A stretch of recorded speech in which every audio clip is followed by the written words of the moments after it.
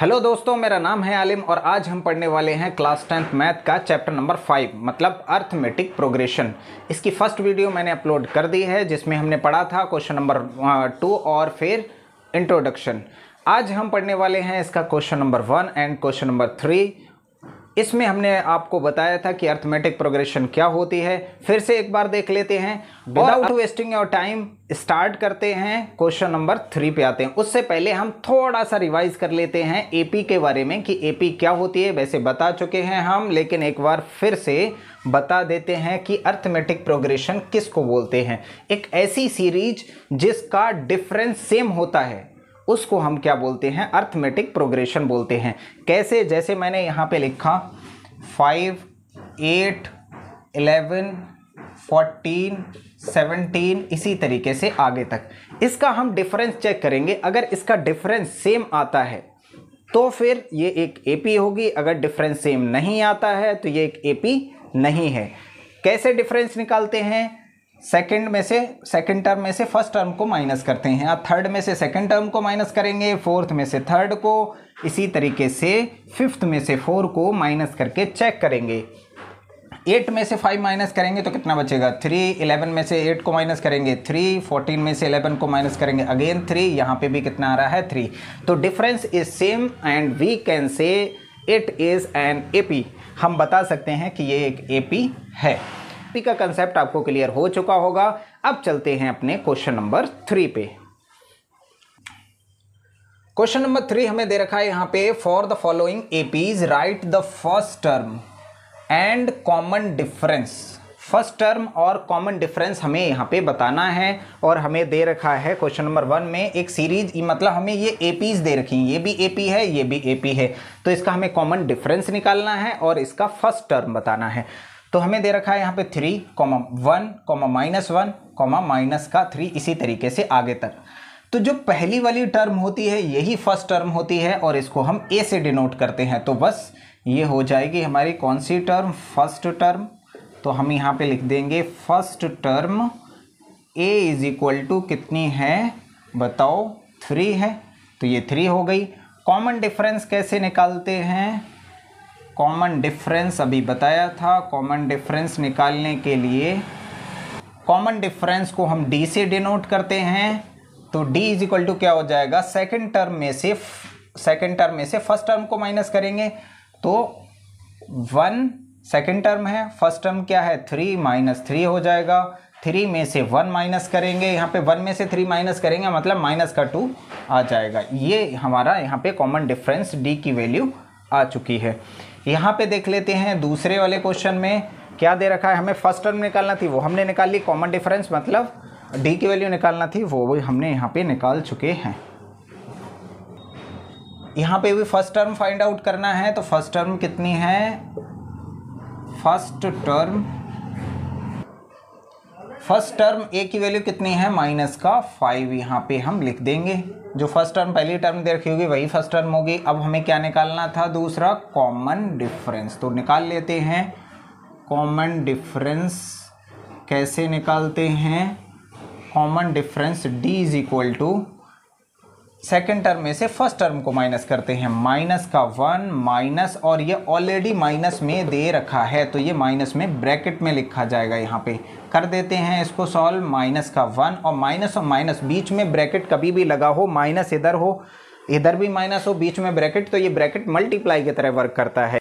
अगर यहाँ पे प्लस का फाइव होता, यहाँ माइनस का होता, बीच में ब्रैकेट होता तो भी क्या होती? मल्टीप्लाई होती। तो यहाँ पे माइनस और माइनस की मल्टीप्लाई क्या होती है? माइनस और माइनस की मल्टीप्लाई प्लस हो जाएगी यहाँ पे, और यहाँ फाइव आ जाएगा, और फाइव में से बन जाएगा तो कितना बचेगा? फोर तो कॉमन डिफरेंस यहाँ पे कितना आ गया? फोर आ गया। मतलब डी की वैल्यू यहाँ पे फोर हमने फाइंड आउट कर ली। इसका थर्ड और फोर्थ पार्ट देख लेते हैं। थर्ड पार्ट में हमें दे रखा है यहाँ पे one upon three five upon three nine upon three और थर्टीन अपॉन थ्री इसी तरीके से आगे तक। तो हम इसका फ़र्स्ट टर्म यहाँ पे देख लेते हैं। फ़र्स्ट टर्म हमें कितनी दे रखी है? वन अपॉन फ़र्स्ट टर्म को हम ए से डिनोट करेंगे तो ए की वैल्यू कितनी है? वन अपॉन थ्री है तो ये आ जाएगी फ़र्स्ट टर्म और हमें कौन सा डिफरेंस देखना होता है? कॉमन डिफरेंस ठीक है? कॉमन डिफरेंस की वैल्यू हमें दे रखी है यहाँ पे। डी की वैल्यू कितनी दे रखी है? कैसे निकालते हैं? Five upon three second term में से फ़र्स्ट टर्म को माइनस करते हैं वन अपॉन थ्री तो अब इसको कैसे सॉल्व करेंगे? यहाँ जब भी डिनोमिनेटर में, जब डिनोमिनेटर सेम होता है तो उनमें से एक को लिख लेते हैं और जैसा ऊपर दे रखा होता है, वैसे ही लिख लेते हैं। फाइव फिर उसके बाद माइनस तो माइनस लिखेंगे, फिर वन लिखा है वन लिख देंगे। अब इसको सॉल्व करेंगे। फाइव में से वन गया तो कितना बचेगा? यहाँ पे फोर बचेगा और अपॉन में कितना आ जाएगा? थ्री। तो डी की वैल्यू हमारी कितनी आ चुकी है यहाँ पे? फोर अपॉन थ्री आ गई। अब यहाँ पे आ जाते हैं।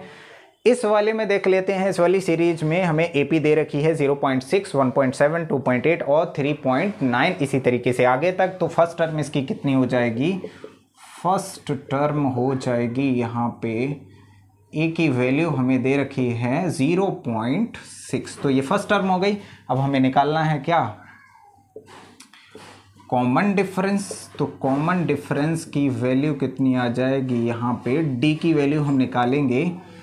कितनी आ जाएगी? सेकंड में से फ़र्स्ट टर्म को माइनस करेंगे। 1.7 minus zero point six minus कर देंगे। कैसे माइनस करते हैं? सेवन में से सिक्स जाएगा तो कितना बचेगा? बताओ वन बचेगा।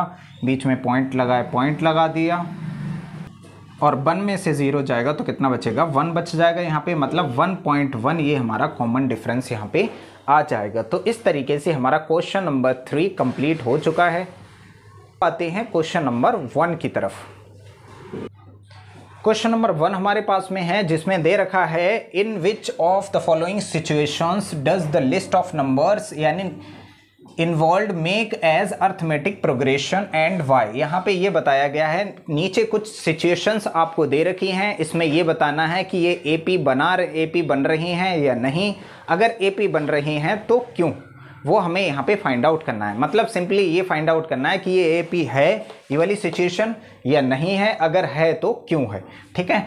तो एक बार देख लेते हैं क्या सिचुएशन दे रखी है। The taxi fare after each kilometre when the fare is rupees fifteen for the first kilometre and rupees eight for each additional kilometre ये कह रहे हैं टैक्सी फेयर मतलब टैक्सी का किराया। इन्होंने बोला है टैक्सी का जो किराया है, हर एक किलोमीटर का फिफ्टीन है। लेकिन उससे आगे आप जितना भी आगे जाएँगे, एक किलोमीटर आगे आप बढ़ते हैं अगर, पहले किलोमीटर का फिफ्टीन हो गया, अब आप जितने भी किलोमीटर आगे बढ़ेंगे तो एक किलोमीटर का आठ रुपये और ऐड हो जाएगा एट एट रुपीज़ और ऐड हो जाएगा। तो फ़र्स्ट किलोमीटर के लिए फिफ्टीन रुपीज़ लगेगा, आगे आप नेक्स्ट किलोमीटर जाते हैं तो एट ऐड हो जाएगा, फिर से आप एक और किलोमीटर जाते हैं, फिर से एट ऐड हो जाएगा। इसका सॉल्यूशन देख लेते हैं, कैसे करेंगे यहाँ पे। सबसे पहले हम लिखेंगे for first kilometre first kilo तो फेयर कितना दे रखा है? किराया इसका फिफ्टीन रुपीज़ दे रखा है।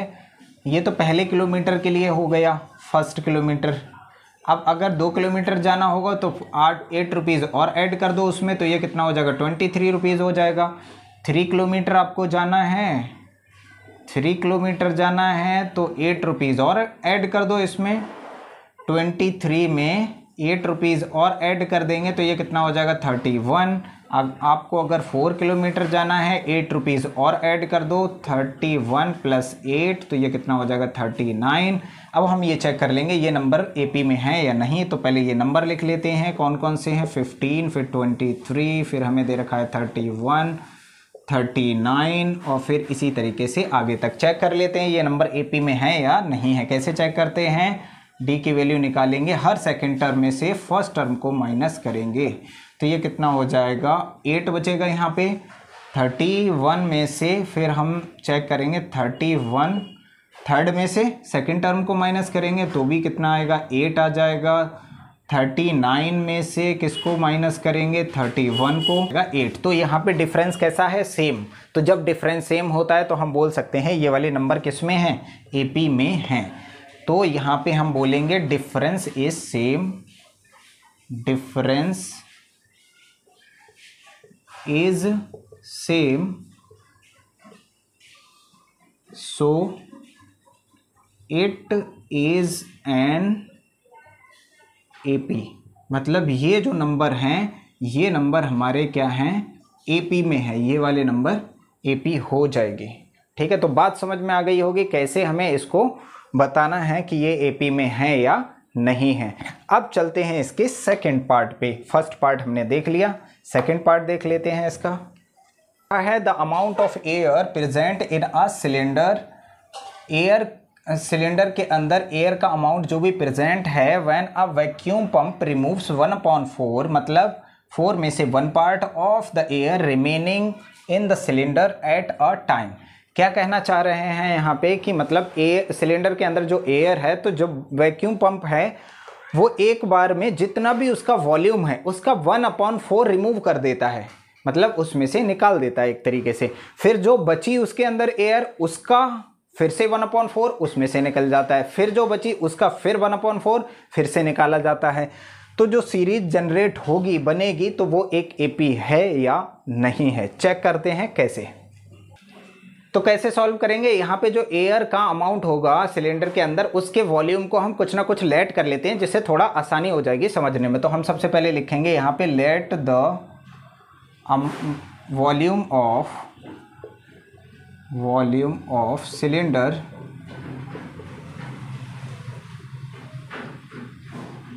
is equal to कुछ भी लेट कर लेते हैं, वो लेट करेंगे जो फोर का मल्टीपल हो, जिससे थोड़ा सा हमें आसानी हो जाएगी यहाँ पे। तो 48 हमने यहाँ पे लेट कर लिया है। अब इसका हमें क्या करना है? एक बार जब ये वॉल्यू वैक्यूम पंप कनेक्ट होगा तो ये रिमूव करेगा, इसका वन अपॉन फोर तो इसका वन अपॉन फोर निकाल लेते हैं। तो वन अपॉन फोर इसका निकालेंगे किसका फोर्टी एट का वन अपॉन फोर निकालेंगे, वन अपॉन फोर कर लेंगे हम यहाँ पे तो ये फोर वन ज़ा, फोर टू ज़ा मतलब ट्वेल्व यहाँ से रिमूव हो जाएगी एयर इसमें से। तो फोर्टी एट में से अगर हम ट्वेल्व रिमूव कर दें तो ये कितना बच जाएगी? 48 माइनस का 12 तो ये 36 बच जाएगी। अब इस 36 का वन अपॉन फोर हमें निकालना पड़ेगा। तो 36 का वन अपॉन फोर निकाल लेते हैं। 36 सिक्स, वन अपॉन फोर तो फोर नाइन ज़ा थर्टी। मतलब अब इसमें से कितनी रिमूव होगी? नाइन। तो 36 माइनस का नाइन तो ये बचेगी 27 ठीक है, अब हमारे पास ये नंबर आ चुके हैं। अब हम ये चेक करेंगे कि ये एक एपी है या नहीं है। तो पहले नंबर लिख लेते हैं। सबसे पहला नंबर 48 देन 36 एंड देन 27 इसी तरीके से आगे तक तो चेक करेंगे इसका डिफरेंस कैसे निकालते हैं। D is equal to second term में से फ़र्स्ट टर्म माइनस करेंगे तो ये 48 हो जाएगी। माइनस करेंगे तो कितना बचेगा? 12 इसको भी चेक कर लेते हैं आगे। यहाँ पे हम 12 लिख लेते हैं। इसको चेक करेंगे तो इसमें से इसको माइनस करेंगे। 27 में से कितना माइनस करना है? 36 तो ये कितना बचेगा? 9 बताओ डिफरेंस कैसा है? सेम है सेम है क्या बताओ? नहीं है ना? तो डिफरेंस सेम नहीं है, इसका मतलब ये एक एपी नहीं है। तो हम यहाँ पे लिख लेंगे, लिख देंगे। Difference is difference is not same not same so it is not an AP ये एक एपी नहीं है। क्यों नहीं है? क्योंकि इसका डिफरेंस सेम नहीं है। अब बात समझ में आ चुकी होगी कैसे हमें इसको सॉल्व करना है। अब इसका third part question number one का देख लेते हैं। में क्या दे रखा है? यहाँ पे the cost of digging a well एक कुएँ को खोदा जाता है after every metre of digging when it cost 150 for the first metre and rises rupees fifty for each subsequent metre same वैसा ही है फ़र्स्ट वाले की तरह क्वेश्चन नंबर फ़र्स्ट की तरीके का ये भी है।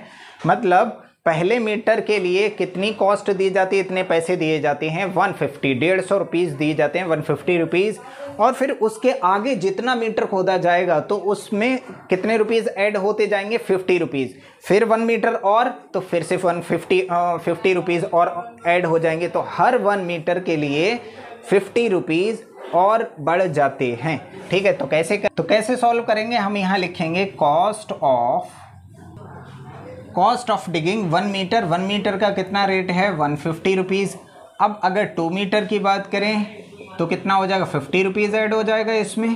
तो ये कितना हो जाएगा? टू टू हंड्रेड हो जाएगा। अब अगर थ्री मीटर की बात करें तो ये कितना हो जाएगा? इसमें फिफ्टी रुपीज़ टू हंड्रेड में और ऐड कर देंगे। तो ये कितना हो जाएगा? टू फिफ्टी हो जाएगा। इसी तरीके से फोर मीटर की बात करें तो इसमें कितना ऐड हो जाएगा? फिफ्टी रुपीज़ और ऐड हो जाएगा तो ये कितना हो जाएगा? सीधा थ्री हंड्रेड हो जाएगा। अब ये जो नंबर आए हैं, इन्हें हमें चेक करना है कि ये एक एपी है या नहीं है। कैसे चेक करेंगे? लिख लेते हैं ये सारे नंबर कितना है? 150 200 250 नेक्स्ट वन कितना है? 300 इसी तरीके से आगे तक। ठीक है? तो अब यहाँ पे चेक करेंगे इसका डिफरेंस तो कैसे करेंगे चेक सेकंड में से फ़र्स्ट को माइनस करेंगे 200 में से 150 माइनस किया 50 बचा. नेक्स्ट 250 में से कितना माइनस करना है? 200 अगेन 50 बचेगा 300 में से माइनस करके देख लेते हैं. 250 तो कितना बचेगा? तो डिफरेंस कैसा आ रहा है? यहाँ पे सेम आ रहा है तो इसका मतलब ये नंबर हमारे किसमें है? एपी में है तो हम यहाँ पे लिख देंगे difference is difference is same so it is an AP ये एक एपी है। कौन सी वाली एपी है? मतलब ये एक क्या हो जाएगी? एपी हो जाएगी। किस हिसाब से हमने डिफरेंस पहले इसका चेक कर लिया है? बात समझ में आ गई होगी कैसे सॉल्व किया जाता है, इस टाइप के क्वेश्चन को कैसे सॉल्व करते हैं। अगर आपके क्वेश्चन समझ में आ जाता है कि क्वेश्चन क्या कहना चाह रहा है तो आप बहुत ही आसानी से इसका आंसर बता सकते हैं। ठीक है तो आते हैं इसके फोर्थ पार्ट पे।